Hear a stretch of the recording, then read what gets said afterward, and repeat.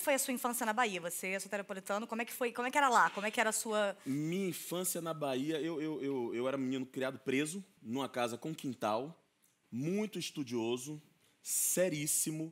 É, a minha família não deixava eu brincar na rua, mas ao mesmo tempo era uma família muito afetuosa. Era uma família que se reunia muito para rir junto. E isso é uma grande memória que eu tenho, eu acho que, que desenha um pouco quem eu sou até hoje. Mas como aluno, você era um aluno mais extrovertido, aluno popular, do fundão que tacava coisas, não? Só virei aluno extrovertido quando fui para a escola pública. No tempo que eu estudava em colégio particular, era seríssimo, sentava na frente. Aí fui para a escola pública e comecei a fazer teatro. Ah, e você tinha quantos anos quando começou? Comecei a fazer teatro profissionalmente 15 anos e de forma amadora com 10 anos de idade. Fui ator mirim. Você foi ator Fui mirim. ator mirim. Tem uma coisa que eu nunca contei para ninguém, vou contar a você. Pelo amor de Deus, eu te Você não vai acreditar nisso que eu vou te contar. Quando eu tinha 10 anos de idade, eu fazia alguns programas na TV local. O SBT estava fazendo uma versão de Carrossel, numa novela chamada Colégio Brasil, e eu fui selecionado para ser o Cirilo brasileiro. Maravilhoso! É verdade. Não fui fazer porque o salário era baixo e meu pai, e meu pai não ia me deixar ficar sozinho no outro estado sem ele poder estar junto. Mas tive Gente, isso. que incrível. Então você Comecei quase... muito cedo. Quase É. que você... ah, Tem reprise até hoje, pode fazer. O SBT é feito de reprises. Sempre é tempo de entrar na grade do SBT e ser tirado pelo Chaves a qualquer momento. E você não começou com seu nome artístico Lázaro Ramos. Não. Seu nome era Lula Somar. É isso. Que é... Que é um nome muito melhor que Lázaro Ramos. Eu não sei porque é que eu troquei. Mas por que, que você... Quem decidiu trocar? Porque você foi a junção dos seus nomes, das, das- das Quem sílabas. decidiu trocar foi o diretor do bando de teatro do Márcio Meirelles, porque Lu- Lu- meu nome é Luiz Lázaro Sacramento de Araújo Ramos. Então, o Lu é do Luiz, o Lá é do Lázaro, Lula. E Somar é o Ramos ao contrário. Quando eu cheguei para entregar para o diretor, dizendo assim, ó, coloca aí na, coloca aí no programa, ele falou, você tá maluco. Nunca, seu nome é Lázaro Ramos. Não tive nem Ah, tempo de escolher. E ele que deu. Ele que deu. Então foi a junção. Se fosse, Foi. por exemplo, um Pedro Rubião Peru. Moreira Lemos, seria Peru Mole hoje em dia o nome de Lázaro Ramos. Mas Lázaro, você pode escolher o nome que você quiser. Mas nesse programa, quem manda sou eu. Esse é o quadro Meu Programa, Minhas Regras. Com pequenos dentinhos. Eu fico vendo isso em casa e eu acho pavoroso. Não, tá vendo? É horror. Você não viu a Eliana? Quais são seus hobbies? O que fazes nos seus tempos livres? Não entendi nada que você falou. Quais são seus hobbies? O que fazes no tempo livre? Meu Bob, Hobbies! Ah. Hobbies! adoro comer, adoro ir pra cinema, adoro ficar com meus amigos bebendo drinks. Que maravilha! Agora, sem mexer a boca, mexendo o nene no possível. Você é uma pessoa, você cozinha, você vai pra cozinha fazer seus troços alimentos, ou você pede em delivery? Cozinho, cozinho muito. Cozinho muito, cozinho de tudo. Inclusive, essa semana inventei uma receita maravilhosa. Qual é a receita? Dá aqui pra gente a fórmula. É uma feijoada de pinhão. De quê? Pinhão. Inhão! Não, Inhane! pinhão, caralho. Inhão caralho! Uma receita de inhão, ca- de inhão caralho! Quais são os ingredientes pra fazer um pinhão caralho? Não é meu. Ai, caralho. tô xingando, que merda. Não tem problema. Ai, cara, falei, tô xingando, que merda. Tô chegando, caralho! Caralho, chega de novo! Que merda, puta que pariu! Então, com as famosas linguinhas. Sais muito à noite? Bastante. É. E chega tarde de madrugada, volta pra casa cedo. És disciplinado? Tem que ser porque tenho filhos. E qual você acha que é o seu maior charme? Minha língua. Maravilhoso. Tirando uma onda. Vem cá, qual esporte que você pratica, você gosta de praticar, que você Ih, não pratico nada, nenhum esporte, nada. Não faz nada? Não tem nada que você Na- faça que as pessoas podem ficar com inveja de você por ter esse corpo atlético maravilhoso? Nada, nada, nada. É mesmo? Nada, nada, nada. E agora com o discurso inflamado. O que, que você acha das pessoas que não comem a borda da pizza lá? Não come o quê? A borda da pizza! É um absurdo, porque a borda da pizza também é comida. É claro que sim! E a não pessoa... pode ficar desperdiçando comida. E a pessoa que vai e, e- e tira todo o queijo da pizza, tira a cebola, Tá errado. É que nem aquele pessoal que tira recheio de biscoito recheado. É claro que sim! E Tá depois deixa só um negócio, a pessoa vai comer biscoito e não tem o recheio pra você comer. E o que você acha, por exemplo, do namoro Brumar, que sempre termina quando a gente começa a torcer por eles, acha que vão casar? Gente, eu tô acompanhando essa novela há tanto tempo. Sei, é realmente muito difícil pra gente que torce pelo casal continuar aqui. Seguindo essa melodia em Lá menor. Qual foi a maior alegria da tua vida até hoje?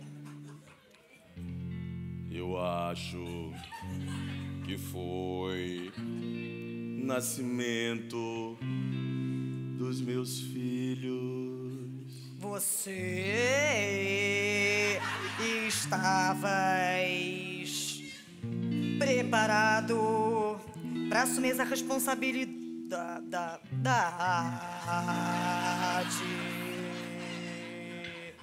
Ou se aprende?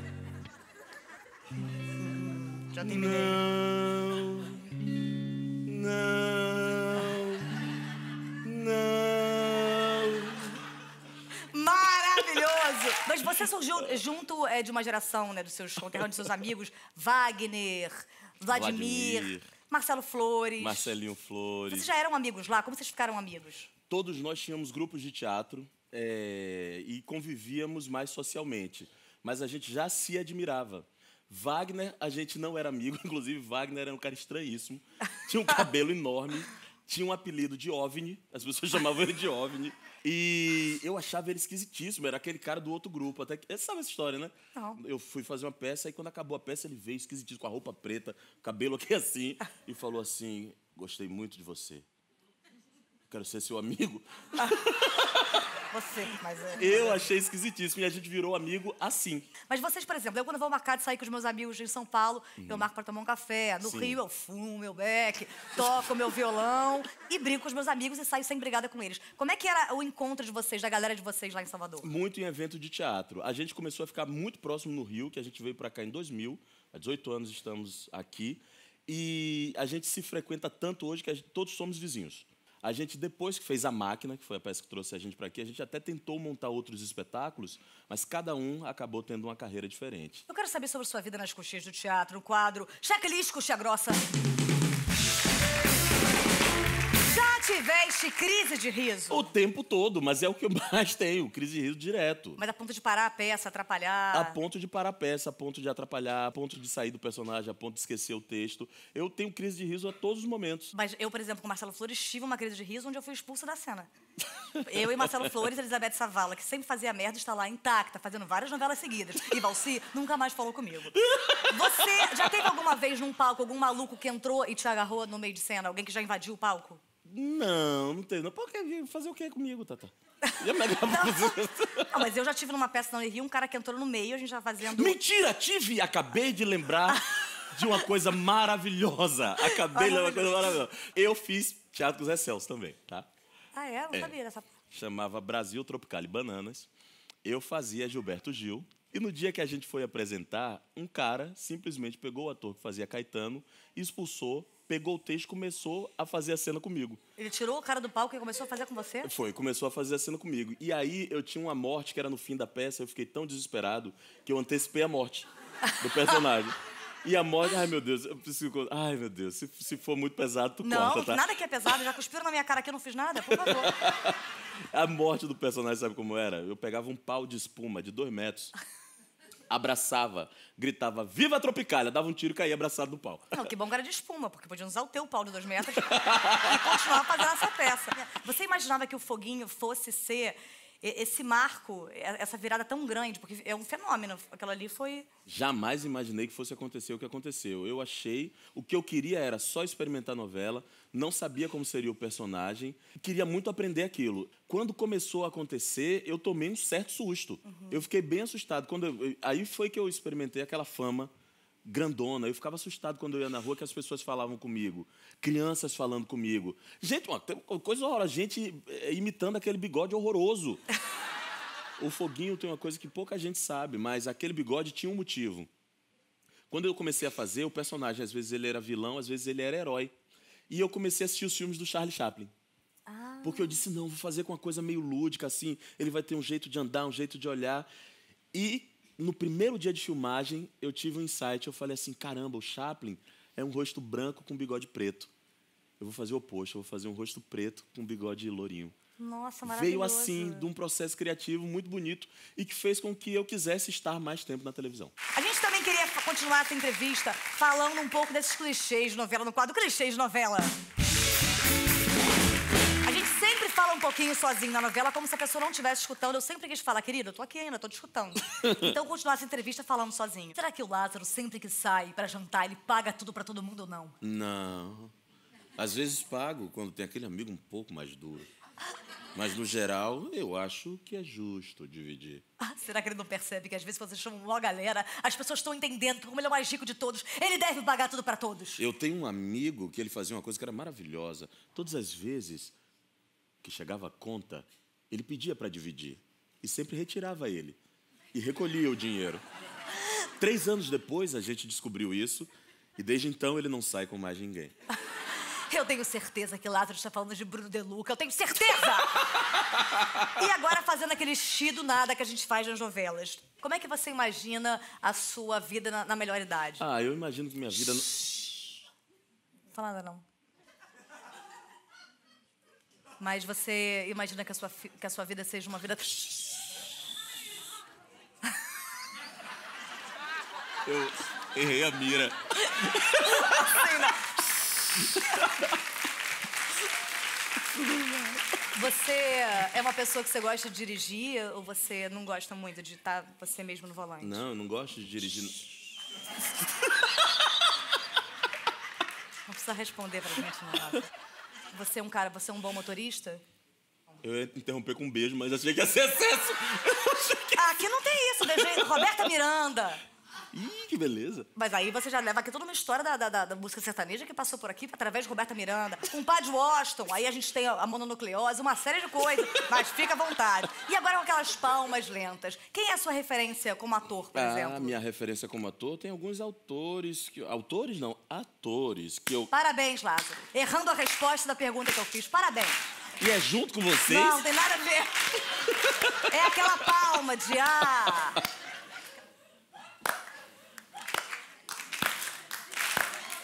Não é domingo legal, não. É uma novela. E agora com entrevistas com Clímax, onde a gente sempre termina congelando. Entrevista o rosto. com quê? Clímax. Eu vi crinas. Também eu achei o ser. quadro tão louco agora, fiquei pensando como é com que ia fazer isso. E a gente põe só duas crinas, que são meus pelos naturais. Você é viciado em celular? Não, não sou viciado. Não! O que é isso? Não é viciado em celular. E quando seus filhos são viciados, você não compartilha do vício. Juventude. Jamais. O celular é como se fosse um túnel que te absorve e deixa você lá dentro até que você grite. Você não pode falar de túnel sem sabermos que está criticando o novo formato do vídeo show com seu túnel do tempo, onde ex-BBBs fazem parte do da televisão brasileira. Eu não admito que você fale do video show. Da antiga formação, eu entendo, mas da nova, a Sônia Abrão mesmo disse que deixa desejar. Não chama a Sônia Abrão pra uma conversa que ela não tem que estar. Mas como não, se a Record mesmo levou nossos atores, que hoje em dia estão todos no mega hair. O que interessa é a Rede TV. É verdade, a rede que mais cresce no Brasil! Eu quero saber o que que você faria no cinema, no checklist, até onde vais? Emagreceria 30 quilos para fazer o filme Homem Graveto, um super-herói brasileiro? Emagreceria. Nudez em cima de um cavalo, onde seu membro fica de um lado, as duas bolas do outro e vai caminhando normalmente. Acho melhor não. Toparia ser irmão siamês de Bruno De Luca no cinema, sendo que vocês teriam que conviver e ficar grudados durante todo o processo? Tadinho de Bruninho. Não, não faria não. Protagonista de um filme, cinema nacional, ou uma pontinha só entra e fala, boa tarde, em Almodóvar. Porra. É só boa tarde. Não, não. Porra, não sei. Só seus Ah. exames. Acho que eu faria. O boa tarde. Eu, boa tarde. Eu também faria, mas nunca serei chamada com certeza. E você faria, tem um beijo técnico. Obviamente, eu, sou adepta, inclusive agora, mas agora que namoro um galã. Ai de, ai de Isabelle Drummond que se meta comigo, porque é cristã e conhece o inferno, eu posso levar pra lá a qualquer momento. Um boquete técnico. Oi?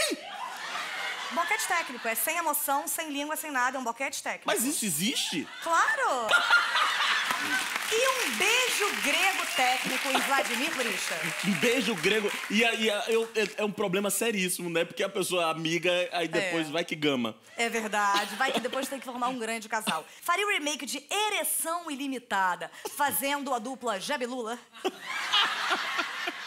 Muito obrigada. Esse foi o nosso quadro. Mega respeitoso. Obrigada. Continuando a entrevista no quadro Toca de Brothers.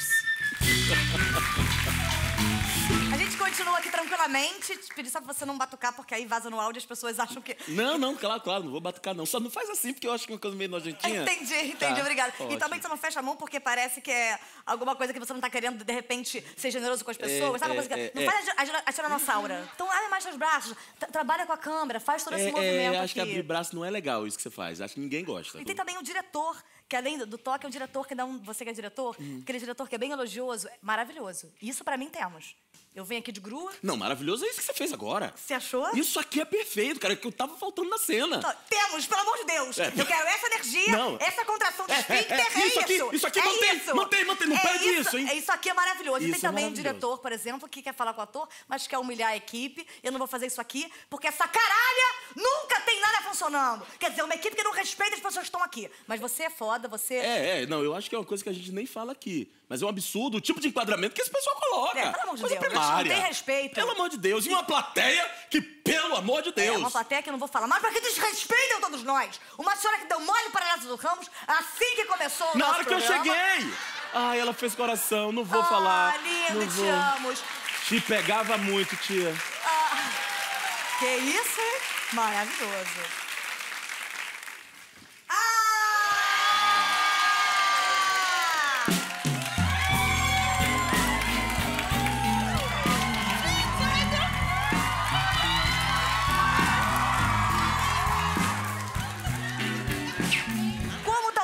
Nós nunca tenhamos a oportunidade de fazermos uma novela juntos, por um motivo de que você está muito acima de mim e nunca vão escalar a gente, eu quero fazer uma cena com você no quadro Roleta de Papéis.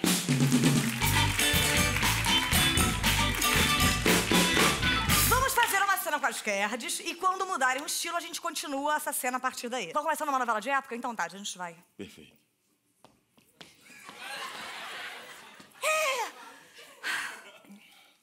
Onde é que você estava? Eu estava com os meus pais. Eu tive na casa dos seus pais há pouco tempo e eu não vi você lá, Milady. Ficção científica. Graciane Barbosa? Sim, eu sou o Graciane Barbosa e vim do futuro. Prazer. Espera aí! Eu estava esperando por você há muito tempo, há mais de um século quando mudou essa novela. Novelas que sempre a Lili Moraes é escalada pra fazer. Novelas que vão do passado ao presente. Eu também venho do futuro! Meu saque Deus! sua língua! Saque sua língua! Eu estou em perigo! Vou soltar a língua! Senta! Ah, essa língua vai te lamber inteiro e fazer um banho de acento que você nunca viu. Não pega a sua peixeira que homem tem aqui! Ah, ninguém tem peixeira maior que a minha, não! Ah, tenho sim! Ah! Vamos ver quem tem a peixeira maior! Eita! Ah! Eu Sérgio- peguei ele mesmo porque ele tava me falando umas coisas que não prestavam, aí o que é que eu fiz? Peguei, segurei, aí ele se borrou todo pelas calças. É verdade, o senhor está totalmente cagado. Bíblica. Bíblica depois de totalmente cagado? Meu Bíblia- Deus! Algo apareceu! Sim. Meu Deus, é a marca da promessa. Sim! É uma revelação, isso quer dizer alguma coisa? Leiam nos meus borrões o sentido da vida. O futuro será uma merda? É para onde estamos caminhando. Ah, meu Deus, tens razão. Prove! Prove o futuro! Eu preciso ir, estou com cólica, acabei de abrir o Mar Vermelho, não tem como. Se tens fé, precisas provar. Escute, Lázaro. Está ressuscitado, Lázaro, vá